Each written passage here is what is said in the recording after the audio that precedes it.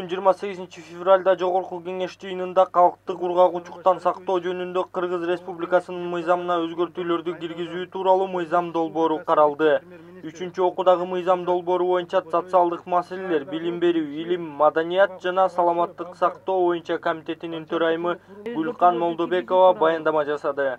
Кыргыз республикасынын мыйзам долбоору үчүнчү окууда каралып жатат мыйзам долбоору кыргыз республикасынын өкмөтү тарабынан демилгеленген кыргыз республикасынын жогорку кеңеши тарабынан эки миң он сегизинчи жылдын биринчи февралында экинчи окууда кабыл алынган аталган мыйзам долбоору кыргыз республикасынын мыйзамынын ченемдерине шайкеш келтирүү мыйзамдагы э, боштуктарды э, өксүктөрдү толтуруу жана саламаттык сактоо чөйрөсүндө укуктук мамилелер өзгөргөндүгүнө байланыштуу карама каршылыктарды четтетүү. Ошондой эле анын ченемдерин евразия экономикалык бирлигинин мыйзамдарына шайкеш келтирүү максатында иштелип чыккан.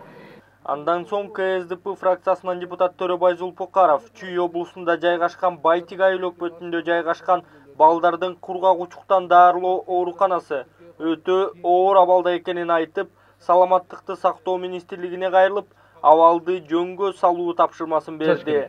быйыл суукта үстүнөн тамчы тамчып баягы суу тамчылап атат өтө оор абал. Өткөндө суукта.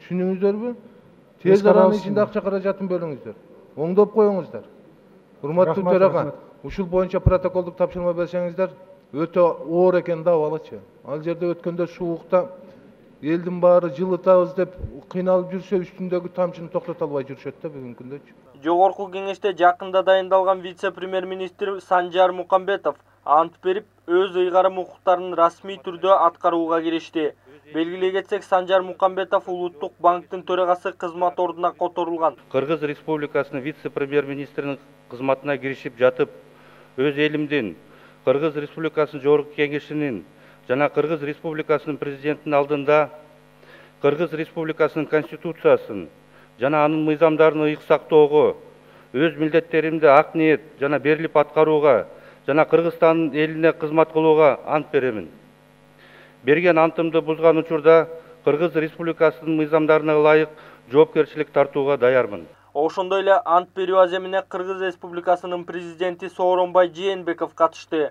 Бүгүн убакытты бөлүп ушу вице премьер министрдин антын кабыл алып бергениңиздер үчүн чоң рахмат ырастык билдирем. Сизге сиздерге дагы ийгиликтерди каалайм. Ал эми санжар тудукожоевичке бүгүн ушул элдин астында президенттің алдында жогорку кеңештин алдында берген антты эстен чыгарбай жүрөктүн түбүндө кармап эл үчүн мамлекет үчүн ак кызмат кылып берет деп мен ишенем. Анан жалпы бүгүнкү ант берген вице премьер министрге жалпы өкмөткө ийгилик каалайм эске салсак кыргыз республикасынын өкмөт жөнүндө мыйзамдын талабына ылайык өкмөт мүчөсү парламентте ант бергенден кийин өзүнүн ыйгарым укуктарын расмий түрдө аткарууга киришет азамат айтбаев азамат жумадилов атайын некст тв күндүн темасы үчүн.